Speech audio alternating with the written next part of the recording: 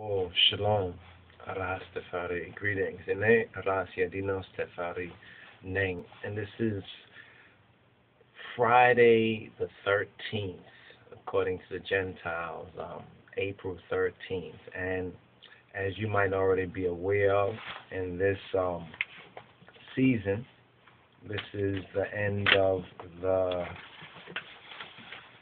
seven days of the unleavened bread, unleavened bread. Um, Passover, then it's the seven days of unleavened bread. And this here marks the seventh particular um, day. Now, hopefully, ones are, you know, especially the disciples and other brothers and sisters who are who are curious about what it is that I and I hold and bear witness to is true concerning the revelation of Rastafari and the and the true Christ, our black Lord and Savior, Yeshua HaMoshiach, we will encourage to study. One can study with us and also do their own independent study. Study is, is one of the crucial things to really get to know it for oneself, you know. Um, and in this Passover season, this particular 2012 Passover season, first of all, I think this is maybe the second Friday the 13th. I think Friday the 13th has been coming around kind of often. But be that as it may, not getting into any kind of um, false god superstition about Friday the 13th, we know that 13 is a God number. And what's interesting is that um, this uh, Pesach, or this Fasika, it actually began on the eve of the Shabbat, and now it fulfills um, also in this present time. Now, if we look at the scriptures, let's get our scriptures right here. If we look at the the scriptures, I'm going to go to Leviticus, Leviticus chapter 23, because this is one of our one of the seven high holy um, days or the seasons. There's three pilgrim um, festivals. But in the entire year, there's about um, seven seven um, high holy days feast, what we call the Moedims or the feast of Jah or the festivals of Jah. So when we speak about holy days and holy time, there are seven particular feasts, but there are three particular times. So when we study, you know, when we start to study our calendar, there's a lot that we can learn in studying um, our calendar, God's calendar, and the true calculation of time. Because time, according to the Western Gentile perspective, whether it's Greenwich time or so forth and so on, is so far off of true time. And to get into it is a study in itself, but basically our holy days, as many of y'all are familiar with, um, for example, Shabbat or the Sendet, it begins from the the evening and morning, according to the Almighty. So, although they call this Friday evening right now, Friday the 13th, uh, 2012, actually it is not Friday evening, but it's the Sabbath or the Shabbat evening. So it's actually the evening of the seventh um, day that we're experiencing now, and then when the sun rises on so-called Saturday, that would be the day. So it's evening and the morning and the dawning of light, or the so-called day. Actually, that makes one day. So it's a, it's, it's a key. It's a key. It's, it's a key matter that has been lost in the West. So you know, a lot of questions we have about time, such as the the three days and the three nights of Christ, um, um, or Jonas parable, you know, can also be properly construed even from the scripture, understanding that particular nuance there. But anyway, be that as it may, um, the main meditation is, is, is a meditation of, of Christ and the cannabis. This is really what we are desirous to, to, to reason on as well as to share some of our own subjective or personal experience. Because really, what is your experience of this memorial time? That's the key thing.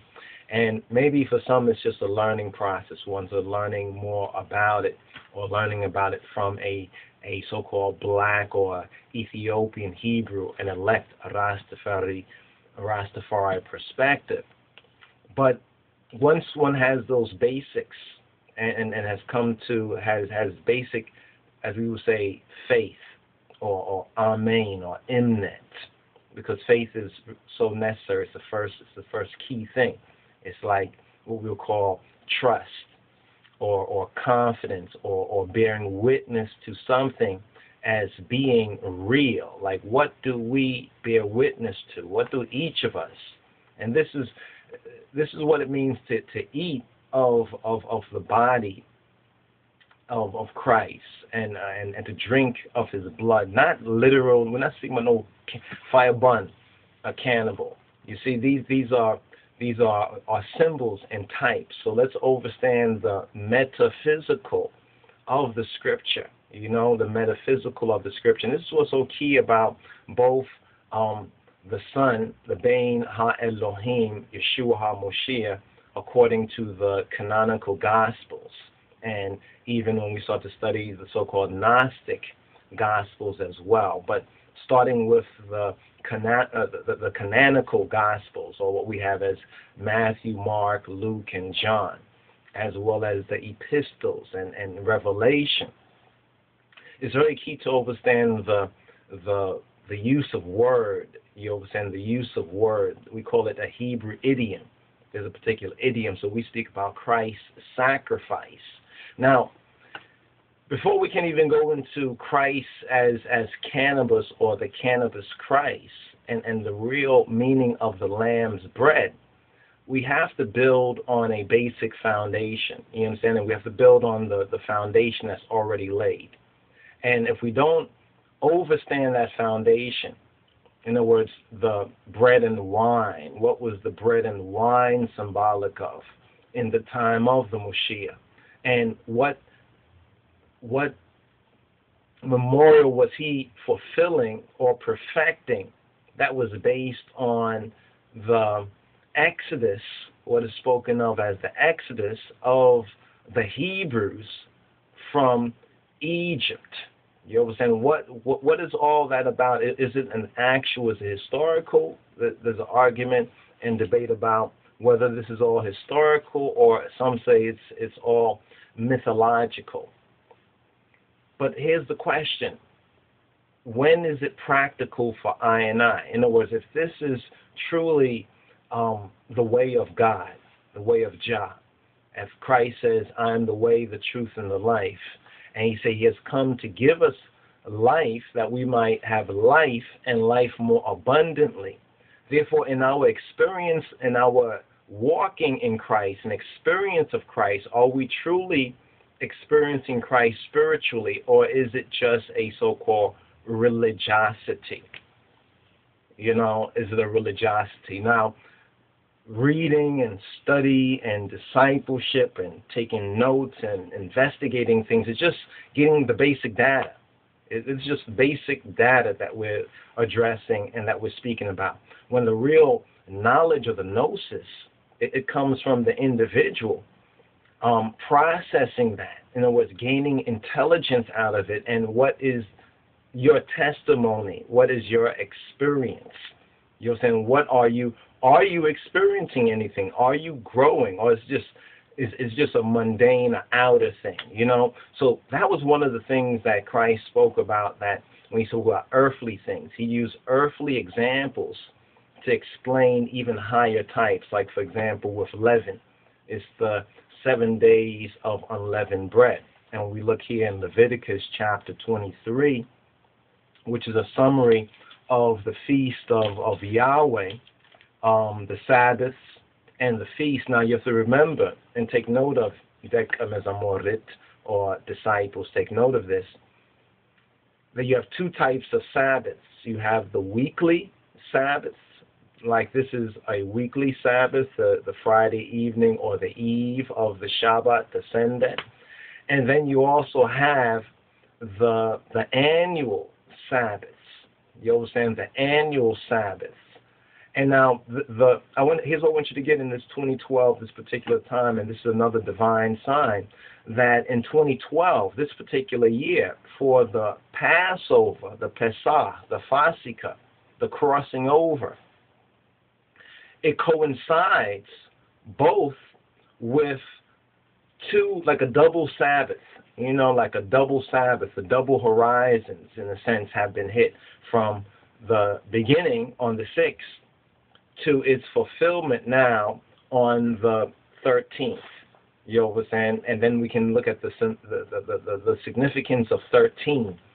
You see, because some say 13 is a God number, you know, like Christ and his and his 12 um, disciples. He would be the so-called 13th. And we have the 12 tribes of Israel, and we can point to many other examples. We even have the, the 12 signs of the zodiac. And this year there's, there's another particular sign that's, that some say should be the 13th sign called Ophiuchus. You know saying? Ophiuchus, or the some say the serpent bearer, and this is right around that particular time coming up, December 12th, 2012, which we say is is is is one of the heavenly signs. You what Not saying that that is the day of the Lord, and we've touched on this in in some other um, postings because we just want to remind ones, you know, be diligent. And of course, it may sound like it, but really find the truth for yourself. And when you study this idea of the day of the Lord, it is not, first of all, it says that no man know the day or the hour.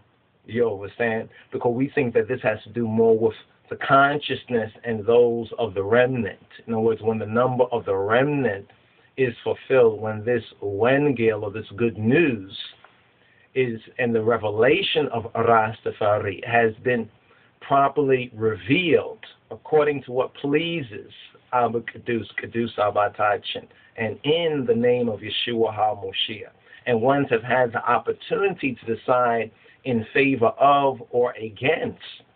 You see, there is a correspondence with the consciousness or the lack of consciousness of humanity, not so much a particular heavenly sign that says that it's, it's going to happen today, but these are signs that have to be understood in connection with his word and the logos. And we're not saying that the Mayans and other cultures, they were, of course, like we said before, the Almighty is not um, he's not unjust to not reveal it to these other people because they happen not to be Beta Israel, or they happen not to be Hebrews, or they happen not to be Ethiopians or blacks, or so forth, or ancient Egyptians. Of course, he, the Almighty will reveal it to all nations. So it's for us to um, begin with our foundation and to compare what we hear out there with what is written and to head rest and to meditate and to pray on these things for understanding or overstanding and not to be so um, emotionally like the emotional response is not really the response that that that we should have because that means we still are immature.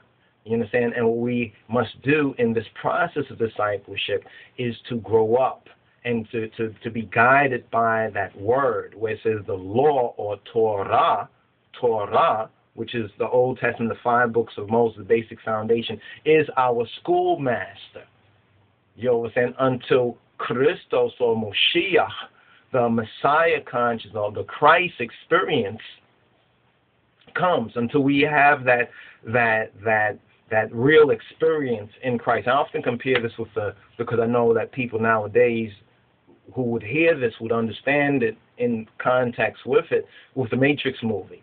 It's like Neo is like that that that that newcomer or that that new disciple, that that that novice, so to speak. And as he grows in consciousness, right, he begins to actually see the living, you know, the living matrix around him. This is what it means when Christ said that he will sup with one. So the word is just not just the word or historical data, so forth and so on, but it becomes actionable.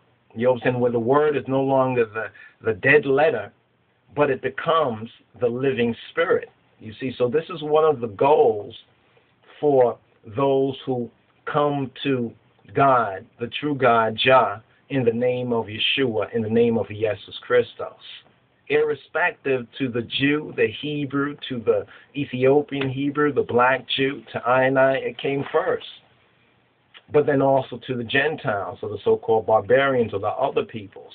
You understand? Because remember, if we say that all peoples came from the black sea, that means, and we say the black man is the original, that means that Adam, you understand, or Atum, you know what I'm saying, was that one who fell. That means that we as black people, we have fallen from something, and there must be a reason that has to do with our own self responsibility. But we are in a state of unconsciousness, and this is one of the reasons why some of these teachings and the gospel, in a sense, remains hidden to some, because the God of this world has blinded their minds. You see that their minds are, are blinded to this. But you, my brothers and sisters, and those who are interested um, in the teachings of His Majesty, um, we give thanks. And it's just a, a, point that we wanted to make concerning um, not just to say it's a holy day or holiday, but to remember that these are memorial times. Christ says, Yeshua says to do this in remembrance of me. So, as we spoke about with the very keeping of the Shabbat, the command or the key word is the article says says to um, remember the Shabbat day, to to think about the Sabbath day, how to keep it holy, yet to how to keep it special, important, rever- reverential, but really it's a spiritual time to really to, to really reboot. You know, because the Sabbath was made for man and not man for the Sabbath. You see, so some people say that to not keep that, but there's no rest to the wicked. So you know that's why they they rest not because there's no rest to the wicked. We're not saying they personally might be quote wicked, but they are living their lives being guided or enslaved by wicked world ruling so called principles that are not of the God and Father of our black Lord and Savior Yeshua HaMashiach, but are of the opposer that are above, uh, that, that are from the adversary. You understand? But be that as be that as it may, right here we have now the Passover, right? The Passover, and this is really where our our yearly feast and festivals from Fasika of Yahweh begin. And as given to Israel, these were simply seven great, it says, religious festivals. I would say spiritual feastings, which were to be observed every year, which were to be observed every year in a particular um, cipher or we can say cycle a particular orbit. The first three verses of Leviticus uh, 23 do not relate to the feast, but separate the Sabbath. It separates the Sabbath from the festivals. So we have the weekly Sabbaths, and then we have the annual Sabbaths. For example, when we look at um, the Feast of Yahweh, the unleavened bread, which is a memorial, metasebia, a metasebia be'al, it's a memorial feast. It says, and on the 15th day of the same month is the Feast of Unleavened Bread. Well, let's actually just scroll. Let's start from the beginning of this chapter right here. Chapter 23 of Leviticus. Even though we're in another portion of Leviticus in this particular time, I think we're going to touch on um, uh, Shemini. Shemini, which is interesting because Shemini means eighth.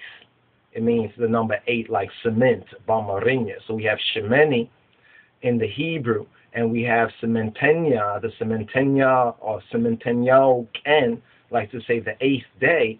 So we just had the Fasika, the Pesach, for this 2012, the, uh, beginning on the 6th of, of April, right? Then we have the seven days. Notice the seven days. Then returning to the Torah portions that we are to continue study, reading, and growing in and be guided by, as says, this is our wisdom.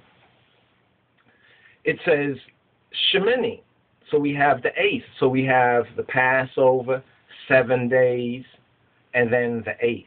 I mean, there is something just very beautiful about that seeing that it's not like the solar, you know, it's not like the solar days per se, but it's the lunar.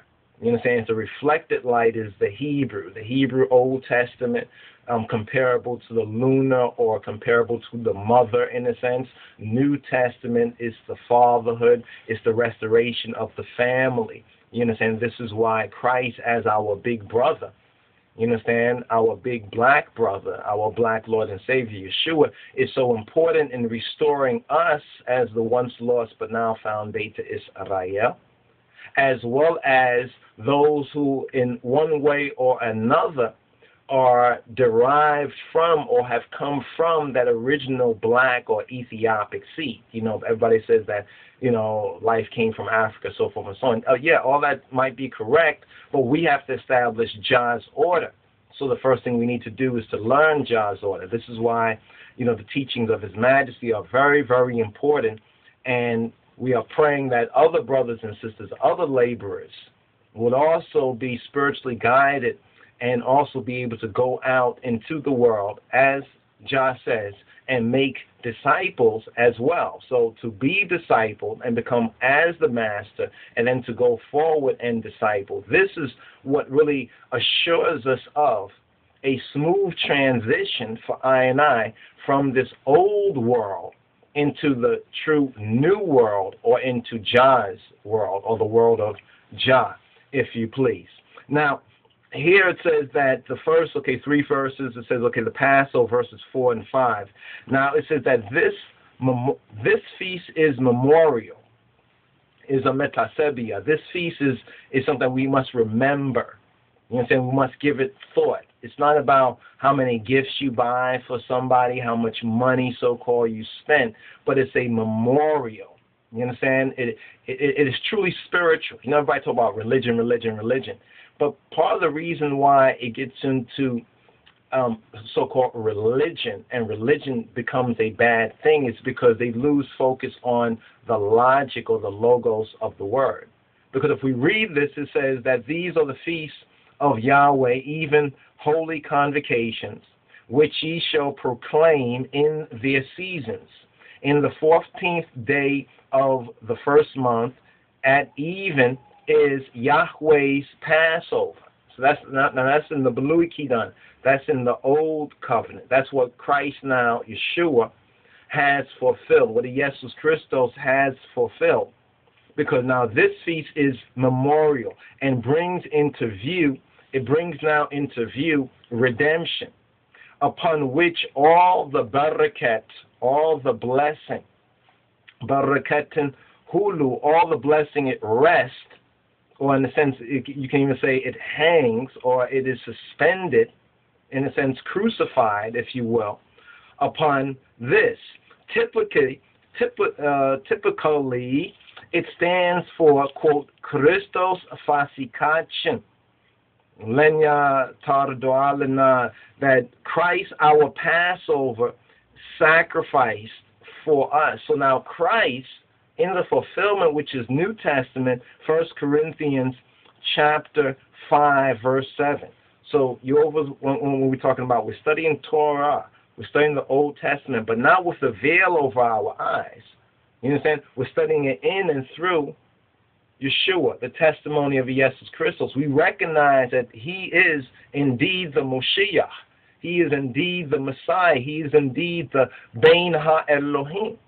Unfortunately, some of our um, other namesakes as um, Jews. They they do not recognize that to their own wound and to their own hurt, as well as the issues concerning you know the the, the racial identity. But facts are facts, so we're going to move forward. Those of us who recognize and accept the fact of Christ or Yeshua, Jesus being black. But now, that's that's the earthly thing. That's the visible. That's the obvious thing. Now, to get into the spiritual, you understand, to get into the liberty, you know, to, to prove that we are not just um, ethnic Hebrews, you understand, or black Hebrews, black Jews, but we are spiritual Israel. You saying? Prove that we are spiritual Israel by not just our word. The word is important, the witness is important, but by our examples.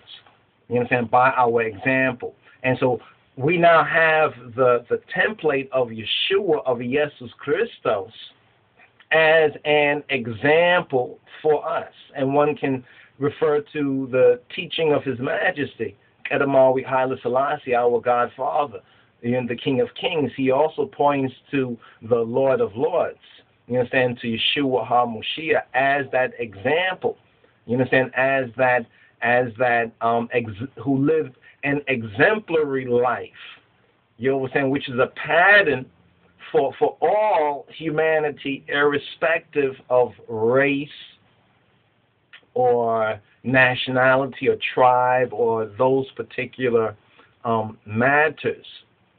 Now, typically, so it stands for Christ, our Passover sacrifice for us. First Corinthians 5 and 7. Now, after after the 14th day, which was in this season 2012, this was Friday the 6th, the past Friday, and this is why we posted the vids touching on certain elements of that, and hopefully that was helpful and instructive.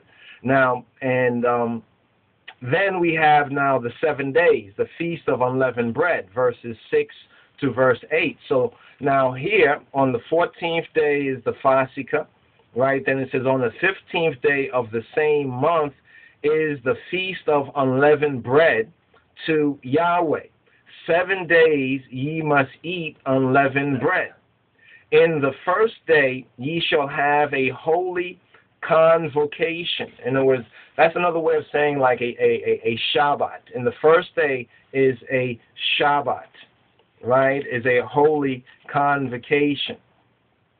Ye shall do no servile work therein. In other words, you're not going to do whatever you do normally in the six days, five, six days of the week that, that make your papers, make your money, your occupational labor or whatnot, you, you you're not going to do that. It's not talking about some basic things that people do for themselves, but it says whatever work you do, you know, saying to make money, and I mean to speak to people nowadays. See if we were when we return to land was a little bit different there in the sense that you won't be maybe working for the Gentiles, but you will have your land and business, so forth and so on. And six days you shall do all your servile, your occupational, your business work. And the seventh day is the Shabbat. Now in the same in the same way, the first day of the seven day feast of unleavened bread. Now remember, bread was speaking about not just the literal bread you see, if you just think about just the literal bread and all the seven days are just about eating matzah and just drinking, you know, drinking wine, then you kind of missed it. You, I mean, you can do that, but the main thing is is what do you have in your mind? You understand? Is your mind full? Has a fullness, or is there mind emptiness? Beware of the mind emptiness. Make your your eating or your indulgence, and this is very significant when we're speaking about now the kanabosa or the cannabis and the cannabis Christ and, and the lamb's bread as actually being um, what we can say the the revelation as Christ says he won't eat of he won't drink of this of the fruit of this vine until he drinks of it anew in the kingdom. Matthew 26 I think verse 29. It's very key right there. Okay, he says he's not going to drink of this until you drink of it anew. Then we have furthermore by another um, gospel writer testifying that he blew upon them and he said to receive, right, to receive the what? The Holy Spirit. Now, according to the biblical story, what was forbidden in the beginning? It was a tree. They ate of this tree. They consumed of the tree. and then there was a, a fall, and then death came into the equation because of that disobedience and, and the ignorance and everything else that involved from it. Now, in Christ, we're told in the in the New Testament, the Adis Kidan, through the Moshiach, we're told that now we have access once again to the tree of life. Now the the the bosum or the cannabis, you know what I'm saying, as a sacrament, it fulfills that to the letter. And this is what we you know, we really want to get into uh, uh, a conversation about. Because in learning this, we learn even to refine or modify our own um, consumption, our own eating, and also the whole connection. Because there's a whole spirituality to this. You, you know, and even some of the questions why cannabis has a positive effect on one particular person while cannabis may have a negative psychological um, adverse effect on someone else, is all explainable according to the Wengel, according to the gospel, and some basic principles that really don't require one to be um, uh, religious, in other words. Just be truthful, honest, and let's deal with the facts. You see what I'm saying? Let's deal with the facts. You know, I can say, well, Buddhists believe such and such and such, and that's the truth. It, it doesn't have anything to do with me what what my faith is. You understand? Is it the fact that these people, this is what they say? So be it. Don't have to make it worse. Don't have to distort it. Just factually deal with the truth, because truth is very important in this process, in this life and the life to come. Verse 8 it says, But ye shall offer an offering made by fire. This is what's interesting. This is what's interesting when it says, and ye shall offer an offering made by fire to Yahweh or to the Lord, if you please, seven days. Seven days. In the seventh day is an holy convocation. Ye shall do no servile work therein. So the seventh day, and this is this is where we're at right now, 2012. So just see how interestingly enough even the holy days, the Hebrew holy days, align in this present so called prophetic um, 2012 period of time. Not to even mention, you know, some of the earthquakes and some of the hailstorms and, and, and, and the other signs in the weather, so forth and so on. But um, this is this this is the rock to build on. This is the true foundation right here. So the feast of unleavened bread, verses six to eight. Now this feast, which actually concludes, we can say now, is concluding now, the feast of the unleavened bread. Um, it speaks of communion. That's another key word. Common union, where Christ says, and I will sup. I will sup with that one. This speaks of communion with Christos. This speaks of communion with Ha Moshiach, or with the Mashiach. Communion with Messiah the unleavened wave loaf in the full blessing of his redemption, in the full barakat, in the full blessing of his um, uh, redemption, Bezanet. You understand? And of a holy walk. Now, the word holy walk, from a Hebraic sense, a Hebraic point of view, would be called the halakha. You, you might have come across that word um, if you've been studying with I and I, and if you've also studied other things, he, Hebraic and, and Judaic and Jewish, you come across halakha. Halakha, they will tell you that it deals with certain kind of laws, but it actually deals with a certain walk. In other words, in the New Testament, speaks about and one whose conversation, one's conversation in Christ, or one's behavior is how you com- is like your comportment, how you how you your liberty, how, how you live.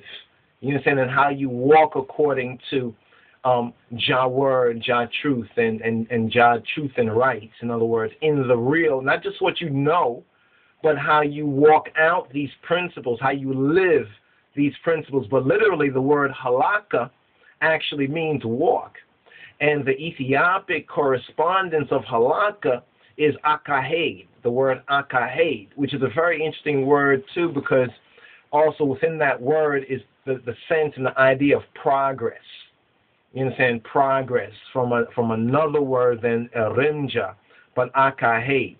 But but the root is haid, haydeh, mahaid, which means to go. One's going, as it says, one's one's sitting, one's going out, one's coming in.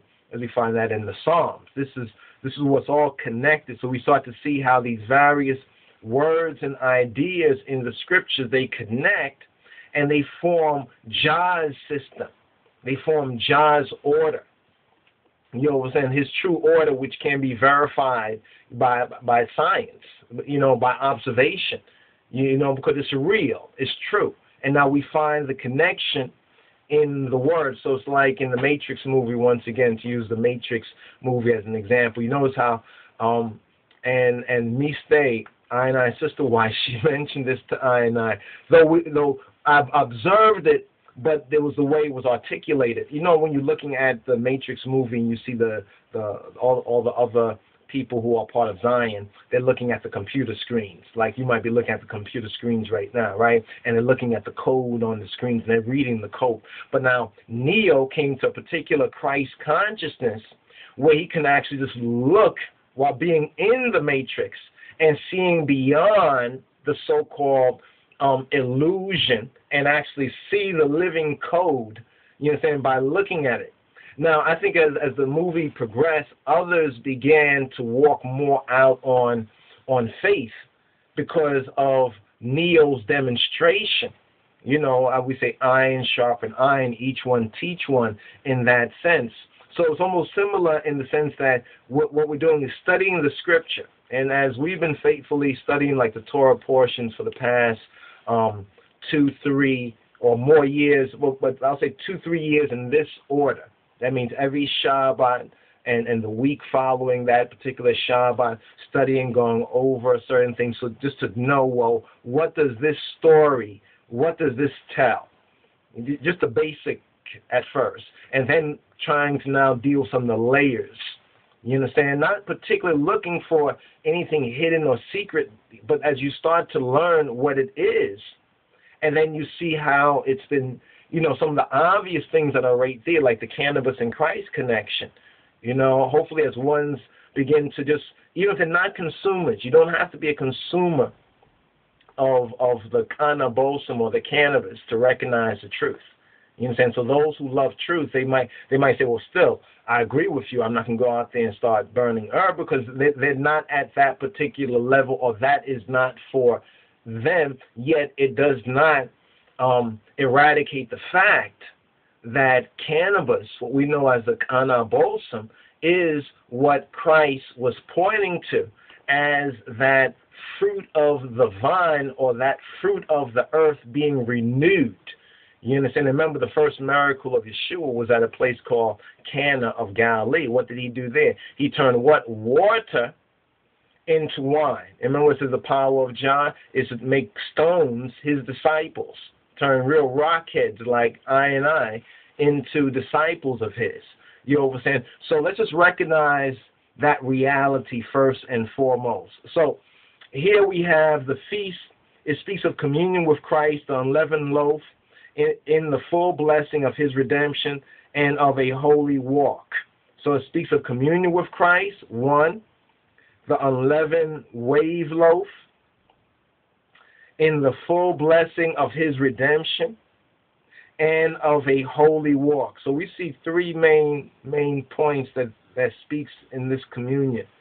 It is communion with Christ, the unleavened wave loaf, or to say that bread, in the full blessing of his redemption. So you have to remember that in the Kidan in Old Testament, it was the Passover was the redemption of Jah's son Israel as a as a corporate body, as a as a corporate body, as a corporation. When we're speaking about the God of the Hebrews, the the Beta Israel, we're speaking about the mixed multitudes because there were others who came along. We know Moses had an Ethiopian wife. We know that there were others from different tribes. You know what I mean? That were not per se, excuse me, Israelite You know Or maybe per se Hebrew in that sense.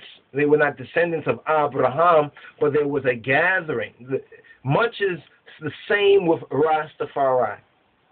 Although from our perspective as the once lost but now found Beta Israel as black sheep, you understand, as as as as Hebrews and and Judahites or Afro Americans and as black folks over here in Ethiopian Hebrews, well, of course, how we see it initially might be a little different than the faithful Gentile over here, over there. And yes, there are qualifications for faithful Gentiles, not to us, but according to the order, because Jah is not the author of chaos. So, so he gives generous and and faithful regulations. You know I'm saying? Both to those who are of his ethnic group, as well as others who, if you check the dots, check the genealogy, come out of the Black Sea. You saying? At some point in in in, in history or in, in, in antiquity. Remember what the word says in, in the fullness of it, all in all. You understand? All in all. So as death came in through one man, Adam, you understand? That fallen black man. So that now life came in through one man, our black Lord and Savior, Yeshua HaMashiach, thereby restoring this systemic anomaly. But the first aspect of it is, is when we say faith, because faith should lead to gnosis. Faith should lead to knowledge, in other words. You know? Um, the, the, the, the, the pistis, as they say in, in, in the, the Greek, should lead to um, both the wisdom and that understanding, which is the gnosis, which is, which is, which is to know the truth. That means that one that therefore is experiencing, you understand, is experiencing um, that particular reality. You know, it's almost like it's like reading about something, and then you actually get the experience or the opportunity, rather, to experience what you read about. You know, I mean, if you ever if you ever experience that, I mean, it, it's it's one of the most amazing things. But then when you actually are are living the experience, if someone else gave you their testimony, you can kind of say, okay, yeah, I agree with you over here, but I really don't agree with that over there because that wasn't really how I felt or that wasn't like that for me. Well, in a sense, it's the same process as you're growing in the Word. You understand? And that's when we come together, that's what we should testify, you know, concerning even right now. Many of y'all who tune into these um, these kind of podcasts, so to speak, um, we look forward to, to hearing some of the item podcasts as well. You know what I mean? And it, it helps us with the conversation, you know, with the reasoning. This, you know, I mean, the secret things, you know, people say, well, we don't want Babylon to. Babylon, some things are right in Babylon's face and they don't know it. So stop thinking about that because Babylon is not all in all unless you are blinded by the God of this world. Now, the divine order here is beautiful. First, there is redemption, then a holy walk. You know, in a lot of counterfeit forms of Christianity and religiosity, you know, where ones condemn you and, and, and they almost like want you to um, do the right thing, even though you was you was born and accustomed. You, your as His Majesty says, His Imperial Majesty says, your education, um, you know, awareness and environment has ill prepared you. You know what I mean? Has ill prepared one. No, the part of the redemption. You know what I'm saying? Part of the redemption, if you buy back something, is is to restore. It's like Psalm 20, uh, 23, where it says, um, um, "And the Lord restored, and He restoreth my soul." For His, you know, for for His name's sake, He restoreth he restores, he sends back to me. This is when Christ says, anyone who comes to me, they have to um, deny themselves. You know, that means deny this this this world view that has been programmed by a lot of illogical things. You know, a, a, a lot of our experiences are not logical. They're not they're not of Christ. They're not of real truth. Yes, they they exist. It's a reality, but it's not in and according to logic, to God's truth in God's word, and this is why there is so much, um, to paraphrase, so much trouble in the world today. But um, as the King of Kings bore witness to, you know, like once man's attempts to do his own way, like the book of Eli even testifies to, you understand, the Bible, you understand, and the truth of the Bible, you understand, will be waiting there. In other words, Jah will be waiting there, and I and I hope to be there with Jah, you understand, waiting, you know, if there are, if there, for, for any others to come forward, as it were. You understand? Because to pray that we would be found worthy to stand before the Son of Man. Stand where? I think that that prayer is speaking about Mount Zion. You, but Mount Zion's not really be standing up there just hanging out. But but stand, we stand on a particular foundation, you know, particular truth. You know what I'm saying? And it's not the literal, just literal standing on the mount, literally.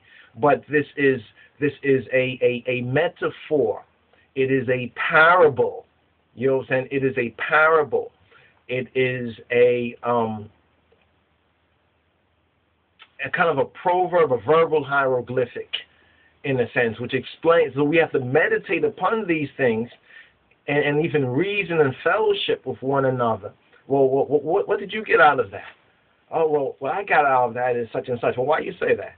Well, because when I look here in the scripture, it says this. Now, someone who comes in that sort of a reasoning, that means you're refining your search. It's like on the internet, you can search for some things and then they'll ask you, do you want to refine your search? It's time now to refine our search. Many people say, yes, I've read the Bible from cover to cover, but what did you really get from it? You understand? It's better, like as Matthew says, to to like plow a small piece of land, you know, and turn it fruitful, than to claim to be a, a an owner of vast idle land. And we can look at that outwardly as the, the, the physical type, or we can interpret that even spiritually. You remember what Christ said in Matthew chapter 13? When we spoke about the parables, and they asked him, "Why do you always speak in parables? Why do you always speak in example?" Well, you know, it's like uh, it's like a man Well, You know, why do you always do that with them? And, and Christ said, "It's for them who are without, who haven't taken that that proactive step to be taught of Christ and to learn of the Moshiach." as I and I have taken, and many of you all have taken that active step to begin to learn, okay, what is this about? You understand? Let me do some research for myself. Let me download that. Let me check that out. You know, and to really learn about it for yourself, because you, you're not going to know by so-called window shopping. In that sense, you know what I mean. In other words, you have to test it, you have to prove it, but before all of that, you have to learn what's what. You understand? You have to learn what is what what it is. You understand what it is? That's what you got to learn first. So the divine order here is is beautiful. First, it's redemption, and then it's a holy walk, and it gives us First uh, Corinthians chapter five, verses six to eight. Second Corinthians chapter um, seven, verse one. Galatians chapter five, verses seven to nine. Now, from this particular day, now seeing that we're at this particular point at the end of the the the feast for the unleavened bread, the next one coming up actually is um, what's known as uh, uh, first fruits. You understand? Which speaks of Christ risen. Now, first fruits. Now, the footnote here in the Scofield, first fruits is Leviticus chapter 23, verses 10 to 14. Now, this feast is typical of resurrection, first of Christ, then of them that are Christ, in other words, those who belong to Moshiach, those belong those who belong to our black Lord and Savior, Yeshua, at his coming or at his um, revelation. First Corinthians um, 15, verse 23, First Thessalonians chapter 4, verses 13 to 18. Now, here's what it says Yahweh spake to Moshe, saying, Speak to the children of Israel and say to them, When ye be come into the land which I give to you. Now, that's a qualifier right there. You know, and some say, well, It isn't about Ethiopia, repatriation, so forth, and Shashamene and, and going forward. Well, yeah. But since we have the time and the opportunity, let us do a little bit better than the the first um, settlers because they didn't have much of the advantage that we have, even technologically speaking. I mean, even even data wise, we have much more access to certain information. You know, just as regular people can find these things out there than the previous generations. Yes, Jah will judge, let Jah judge, but what we have to do now is be those people, as His Majesty says, next time send the right people. You know what I'm saying? When righteous Africans, the right people, not just black, black, black, or so forth and so on. No. Or Ethiopian, Ethiopian. No, it's righteous. It's Sadiq There's a qualification. You understand? See, having that qualification means that you are not a criminal to the oncoming kingdom of the King of Kings and his Christ, the government of God, the true new world order. You know what I'm saying? If you have that right, if you don't have that righteousness, you know what I'm saying? Well, um, you're going to have to explain for yourself. In a sense, you will be arrested, not physically arrested, but what we're seeing already is is arresting news, arresting things are happening. That in spite of all the technology, in spite of all the paper or money or possessions, there are there are even more powerful elements than all the New World Order secret societies and even occultic demonic activity. There are greater uh, powers that bear, such as the power of I and I God Father, the King of Kings, in and through Yeshua HaMoshiach. So it's important for us to recognize that connected now with with the the, the, the first um, um, pilgrim season is Passover, unleavened bread, and the feast of of of first fruits, of the first fruits. But now, notice the qualification of this. It says, "When ye be come into the land which I give you." So one of the first one of the first feasts in the land, especially after being in the land for about a year or a couple of years, must be first fruits as well as harvest. You see, as well as harvest. So we have a lot of us as Rastafari. I think I know many of I and our brothers' intent probably is is is is good or is fear seeming, but we're not doing it in Jah's order, so we're not getting the results that we should be getting. You know, um, we as this particular generation of Rastafari have a, a crushing and an awesome responsibility before us, but in and through Yeshua HaMoshiach, you know what I'm saying? In and through the Christ of His Majesty, you understand? These things we can do. You understand? We yes, we can in the King of Kings and His Christ, but the first step is learning. The first step is is getting some a basic idea of what's what who's who. You know what I'm saying? Who are we? Where we're from? How did we get here? What is God's plan in all of this? And how can we come into conformity with the will, the true will of Jah Rastafari, the true will of the God and Father of our black Lord and Savior, Jesus Christos. You see? So Here's the key, here's the caveat. When ye be come into the land which I give you, and shall reap the harvest thereof, shall reap a harvest. So that means Rastafari has to become much more eco friendly. I mean, we always were. I'm speaking to this present generation because right now, this generation is struggling with the golden calf, with Baal Peor. You understand? With some of these uh, Balaam, you know, it's right on the cusp, you know, this particular generation today. Um, and, you know, we don't want to go into Jah's word. Let's just not point fingers, but let's just, let's just, um, faithfully read and study and speak his word and let the chips fall you know where where they may it says then ye shall bring a sheaf of the first fruits of your harvest to the priest. Now, we're going to give you a little example. Now, you already know we say the, the, the cannabis or the cannabis. you know, is the lamb's is the lamb's bread. You already know. Now, the exact reason for that, you understand, might have been lost on many of, you know, many Rastas and, and others, but we can see the true meaning, you know what I'm saying? We should see the true meaning of that, even in something so precious and so small. You see that right there? Now they say they have sought to make God's God's creation illegal. Imagine that. They can't last too long. They want to make God's creation illegal instead of learning the truth behind it. Now, so this is an example of the first fruits. And we have some interesting shots from Morocco. Morocco over there in um, um, northwest Africa. The some of the people what they do is the farmers they grow these large um, like um, hemp stalks and there's some pictures where you see them in the field, just like the it reminds me the wave offering. You understand where they're waving large stalks. Now all we have, you understand, are smaller ones like little buds like this. You understand where it looks like a little bush. It's a miniature of a tree.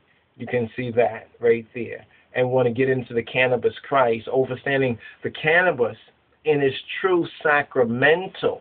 You see, because our argument about religious rights is, is justifiable. You know, they say, oh, cannabis is illegal, so forth and so on. Well, that might be to those who don't have any religious or sacramental God given right to use it. It, it. it probably should be.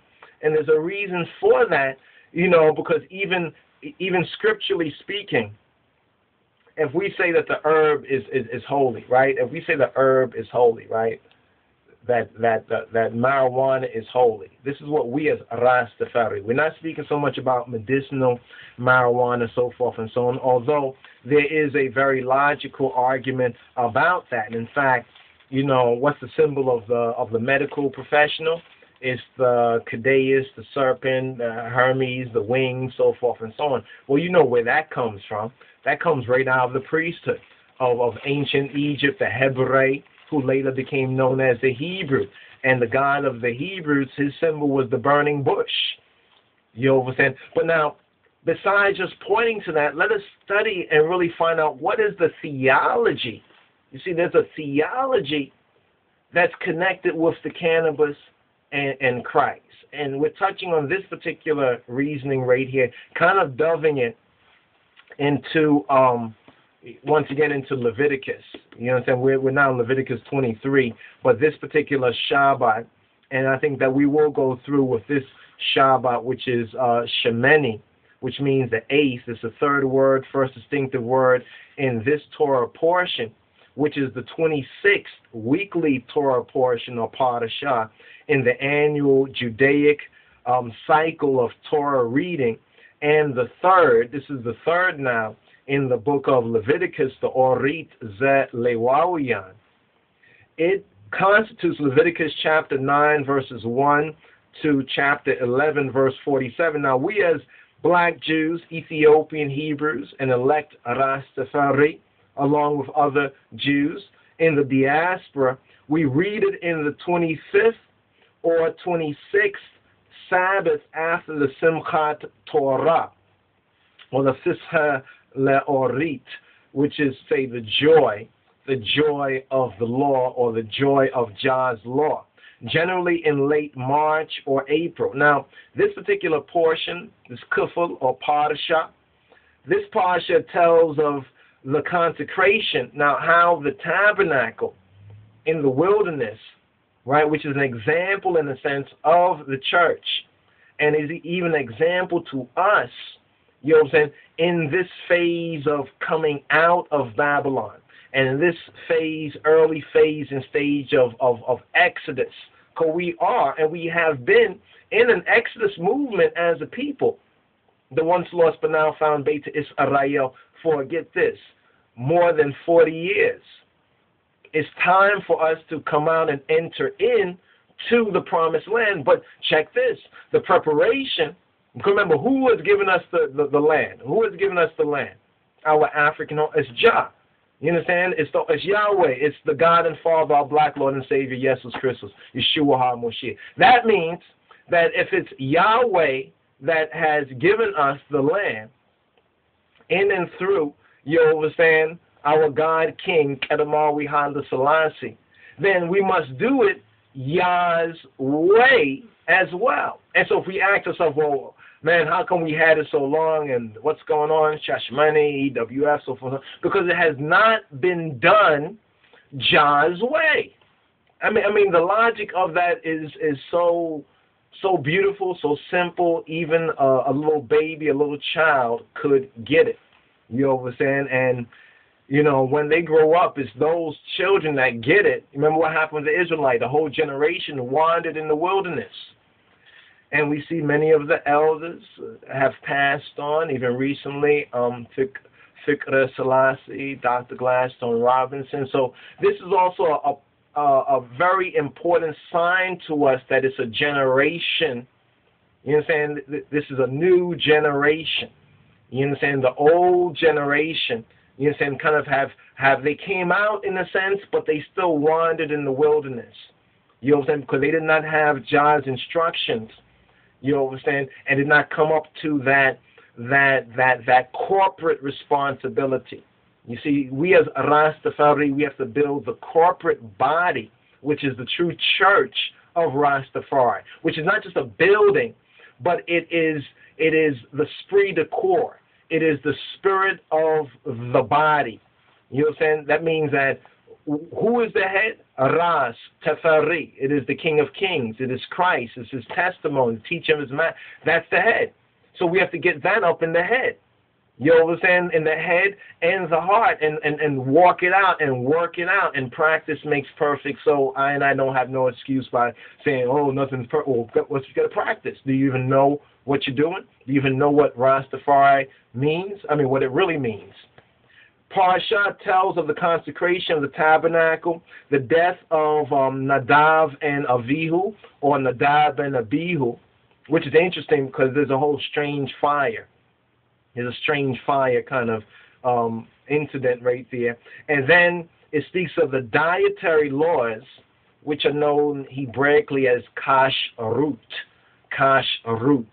So we want to kind of touch on both the, the cannabis Christ and, and, and, and the whole connection of Anabosim. Because we think that it's been too long that we've been kind of like um, just speculating on it and not backing it up with with with with with real um, theology that's based on the teaching of the scripture. That anyone who's interested, they can learn about it, and if they choose, see, it's all about choice. You understand? If they choose to experience, you understand, um, um, Christ as cannabis or Christ through that that sacrament. You understand that anabosim that the cannabis is the witness of Christ's crucifixion, the two witnesses, Mary and John. Remember when Christ says, you know, um, woman, behold your son, you know, behold your mother, and he took her, uh, John and Mary, marijuana. You know what I mean? You have to stop and say, wait, there's, there's something bigger. You know, you know, there's something bigger going on here. You know, because we're sure that when men and people probably called it so, they probably didn't know. Somebody knew. That's how that name got attached to it as um, marijuana. And where was Christ crucified? In the place of the skull. So there's a lot that's connected with marijuana that really answers a lot of these questions when we say that marijuana, really, in a sense, even in our society, it would not be permissible to everybody. I'm talking about in a true Arastafari society based on the righteousness of the King of Kings and His Christ and the teachings of His Majesty in the Bible it, it would not be something that um, if it's holy, then it must be treated as as such. So some of the things that we might, um, due to circumstances, have to pass through in this Babylon should not dictate to us or even get us in the bad habit of this is what we're seeking to establish. You know what I mean? This is what we're seeking to establish. I mean, you look at a lot of different groups had to do what they had to do, you understand, with their backs against the wall. but even they must have had a vision, you understand, of, of better things. You, otherwise, they would have gotten stuck. And it seems like a generation of Rastafari has gotten stuck. You know what I'm saying? And, and we're not going to ridicule them or blame them, but we this is what we observe to be true, and there are facts and factors that prove itself. Now, just continuing this part right here, that it says at this particular point that when we come into the land, we are to reap a harvest thereof, and then ye shall bring a sheaf of the first fruits of your harvest to the priest and he shall wave the sheaf before the Lord. He shall wave the sheaf. So symbolically, think of the spliff in a sense, right, as the sheaf. I showed you the bud already, but think of the spliff as the sheaf, right? He shall wave it before Yahweh, before Egaziabeher Lotu Subhat, to be accepted for you, to be accepted on your behalf on the morrow after the Sabbath the priest shall wave it. Interesting. Now notice it says on the morrow after the Sabbath. Now notice this year is so perfect in a sense. This 2012 is so perfect when you think about it. There's a witness. It says that the moon is God's faithful witness, and this is how we calculate the holy days according to the reflected light of the moon, right? According to the law of the mother. In other words, so we have the sixth. Notice we're the sixth of April beginning that's going into the Friday evening, going into the Sabbath, the seventh. Then we have the 13th, which is now, also Friday, so-called evening, going into the Sabbath. Then right after the seven days of unleavened bread is over, it's now speaking to the people, speaking to the children of Israel. This means that if it's for the children of Israel in spirit and in truth, it's for us as children of the Ethiopians. How do I and I know that? Well, look at Amos Amos 9 and 7 that will prove that to you.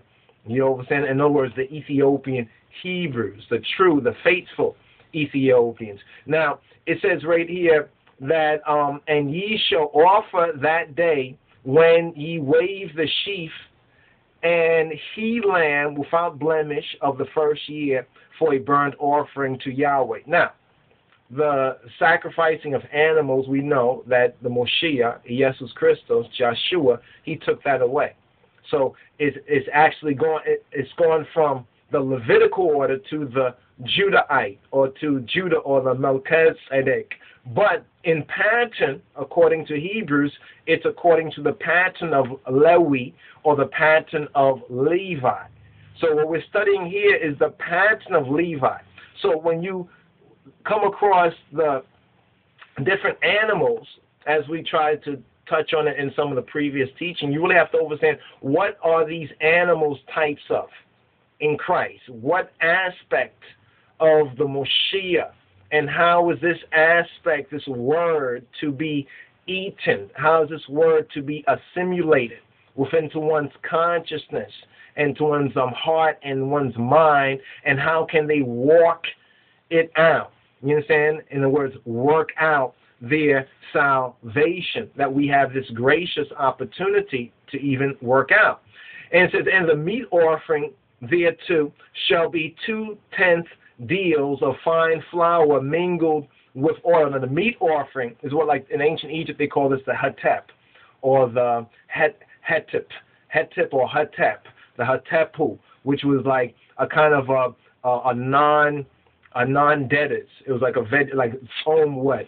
You understand? Like vegetarian food or non-meat. When it says the meat offering has no meat in it, it should be the meal offering. There too shall be two tenth deals of fine flour mingled with oil, an offering made by fire.